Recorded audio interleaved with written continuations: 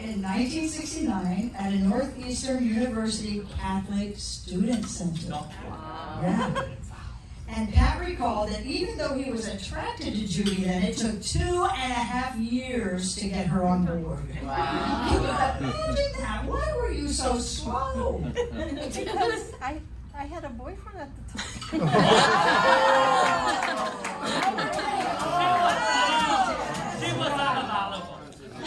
so during that time, their relationship was on and off.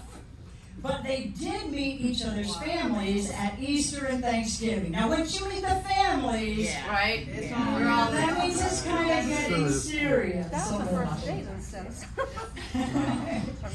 so one evening, Pat said to Judy, I would marry you, but I'm going to seminary to be a priest. Wow. That's true. Oh, wow. As it turned out, he was in the seminary for about a month and a half, and it had just dawned on him that being a Catholic priest meant he wouldn't be getting married.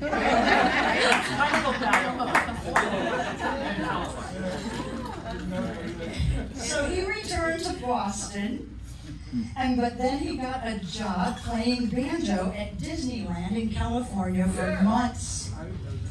Well, wait a minute, for a few months later, right? For a few months, he got a job at Disneyland in California. Yes. Mm-hmm. Playing banjo, right? Playing banjo. Wow. So that's why he was off and on because he didn't have a He was. so while he was in Disneyland, California, it resulted in really expensive phone bills, which yeah. was a typical relationship and courtship. Hey, phone bills were not like they are now. So that had to be a lot of, of phone expense. Now, Judy subsequently was invited to accompany them on many of the show gigs that Pat's dad and he played locally in the Boston area, as well as Radio City Music Hall in New York and Walt Disney World in Florida. In mid December of 1971, Pat took a few days off to surprise Judy with an engagement ring. After a deafening scream, she did say yes. There you go. They were married July 16th, 50 years ago today, in 1972, in Kissimmee, Florida, at Holy Redeemer Catholic Church. The church was tiny, and from what I understand, there was no air conditioning. Right, and that's the windows from the church. Those are windows from the church? Right, they, just, they took no kidding. Let me hold those up. That's no, you no, can't. It's, too, no. it's too hot. It's too heavy. Those are absolutely. so it's what you're made of now. And they light up. That's what's They're gorgeous. I did that last night. Hold on, I'm gonna get this. Those are beautiful. That's the church right there. Can oh, you oh, wow. There you go. That's the church. Isn't that beautiful? Wow. It took many pains to get here. and he will have many. That is so beautiful. So the church wasn't air conditioned? I understand. It was pretty hot. it was pretty hot, according to what I heard. Um, there were only about, uh, the church only seated about 80 people, but they were blessed to have their friends and family, which comprised the entire wedding party that traveled down from Boston for the event. Now, listen, marriages never stop growing and changing. Never. And like the gifts, gift of wisdom, they get better with age. Patrick and Judith Ann, you have now been married for 50 years. And to celebrate your journey, you have come together in the sight of God the Father, the Son, Jesus Christ, and the Holy Spirit in the presence of these witnesses to renew your vows of love and commitment to each other. Now, it's important to remember that when God made man in his image, he made a husband and wife yoked together in one flesh. This means that the marriage relationship is meant to have God as the head intertwined with the husband and the wife as one. As Ecclesiastes 4:12 says, and though one may be overpowered, two can resist.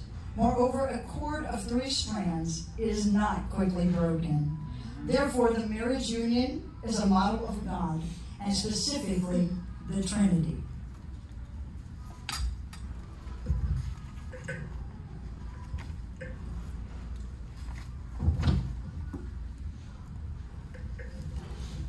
Is my pulpit?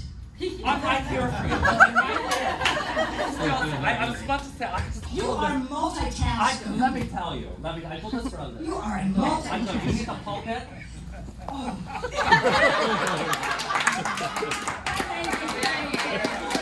I have a feeling I'm gonna really not like this. Now, in God's established, Oh, you like it hard? Oh, okay. you want that hard? She's gonna read the whole Oh, Bible. no, for you. there you Oh, the whole Bible. That's it, that's it. Get comfortable, everybody. Oh, it's wonderful. Oh, you have beautiful eyes, by the way. I'm used to having men bow before me. This is incredible. It's an incredible day for everyone. In God's established ordained plan, through his infinite wisdom, he specifically created Patrick and Judith Ann that they should become one flesh. And through this mystery, for these past 50 years, your heartbeat has become one. And through this mystery, your love has borne fruit for all men to witness as the testimony of God's sustaining love. Patrick, there really could be no greater affirmation of your worth than what God gave you in this woman that you call your wife. The Bible says, He that finds a wife finds a good thing. And a virtuous woman is the crown of her husband. Patrick, when you found Judith Ann, you found a good thing. That's why you've hung on to her all these years. She is a virtuous woman, and she is your crown. Judith Ann, for Patrick to have married you, there had to be something super special about you. After all, he pursued you two and a half years before you finally got on board. But he was going after something that was a good thing. And there could be no greater affirmation of your worth than what God gave you in this man that you call your husband.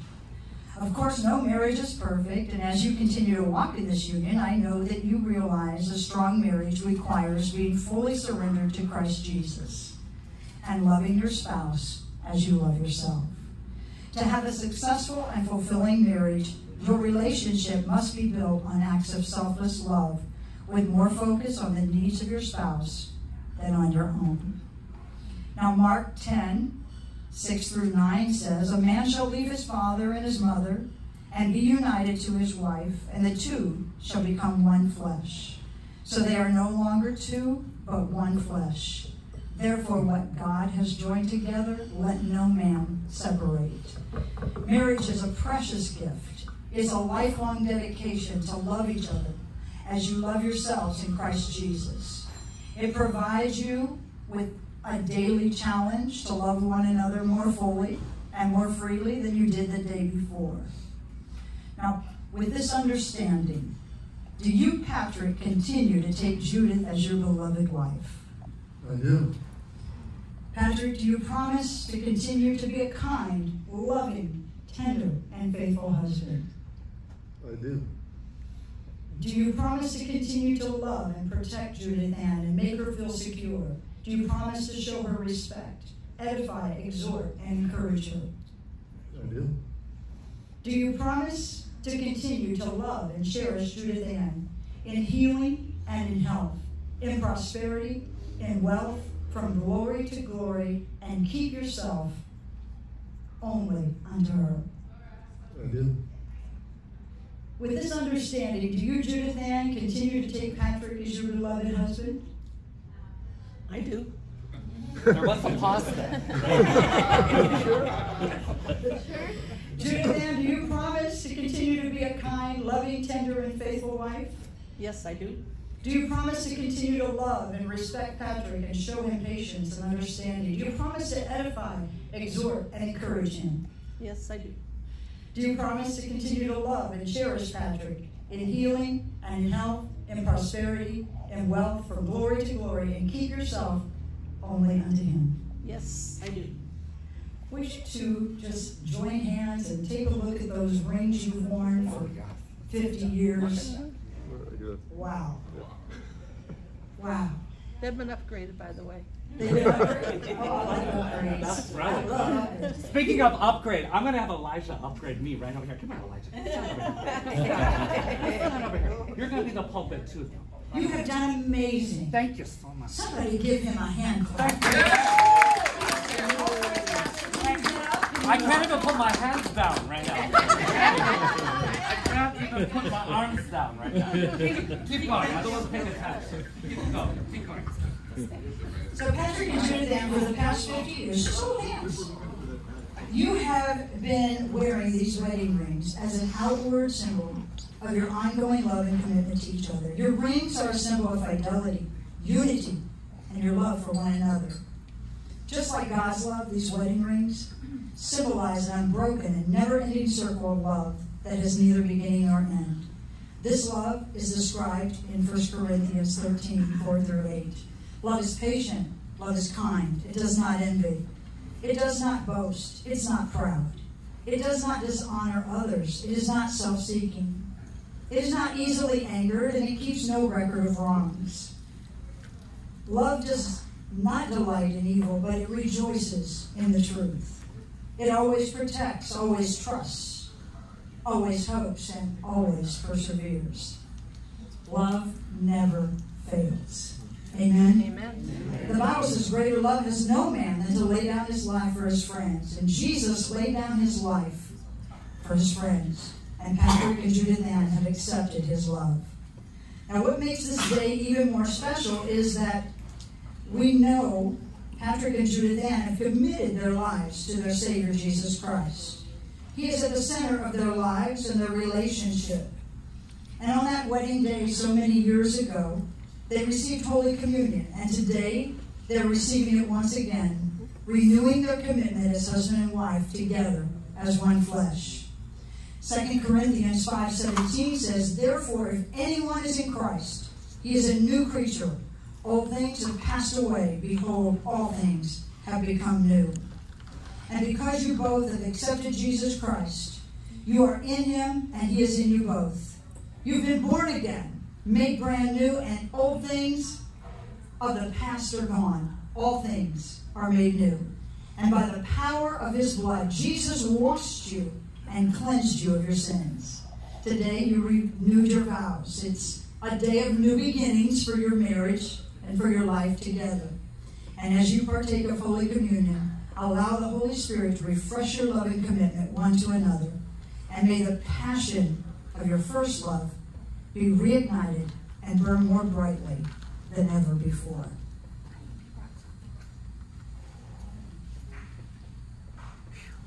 Lord, we thank you for the body of our Lord Jesus Christ, which was broken for us. We thank you for your sacrifice. And Lord, today we ask that you bless this time of communion in the name of Jesus. Partake of the body of the Lord Jesus Christ.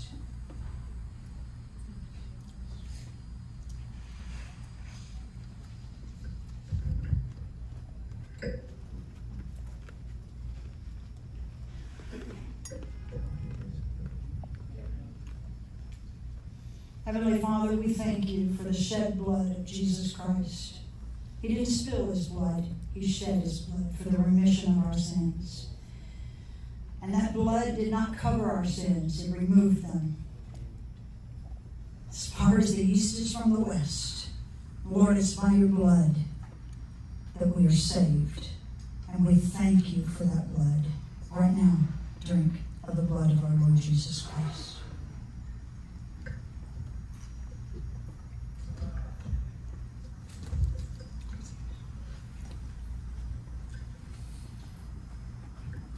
Let us pray. Heavenly Father, I thank you for bringing Patrick and Judith Ann together all those years ago. And Lord, it had to be your grace and your mercy that kept them every moment of every day to bring them to this day of celebration.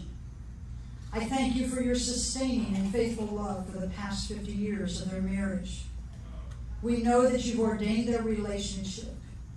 And Heavenly Father, may their passion for you and one another burn greater than before.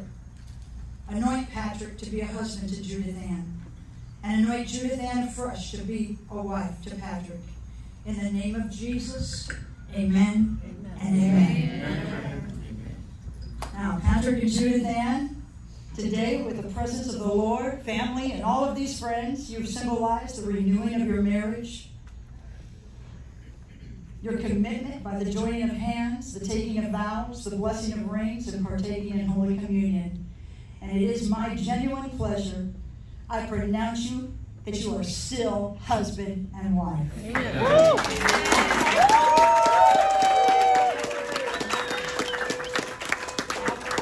Patrick, we saw a very passionate kiss on that video.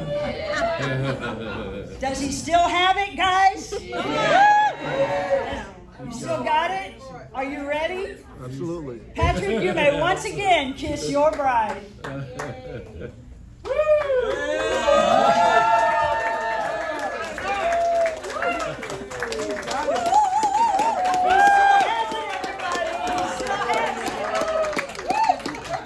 Ladies and gentlemen, may I present to you once again Mr. and Mrs.